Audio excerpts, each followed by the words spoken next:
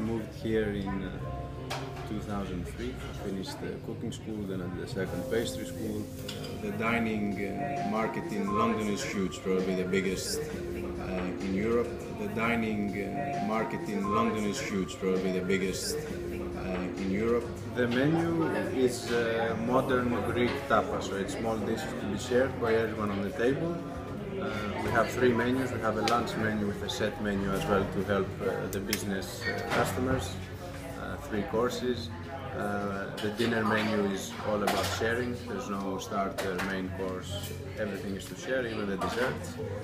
And on the weekend we do our brunch as well, which is uh, the busiest time that we have, where we also do Greek uh, scrambled eggs with uh, feta and uh, tomatoes. We do poached eggs on koulouri bread, which is a very traditional Greek.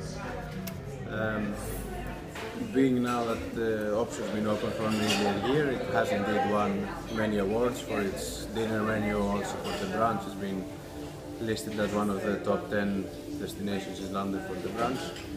Um, for now, the goal is to get this one off its feet. Uh, It's a new, it's, it's a baby, as we say. Still, it still has a lot of problems uh, that we've uh, working on every day to resolve. Now, the past few months have been going very, very well for the restaurant.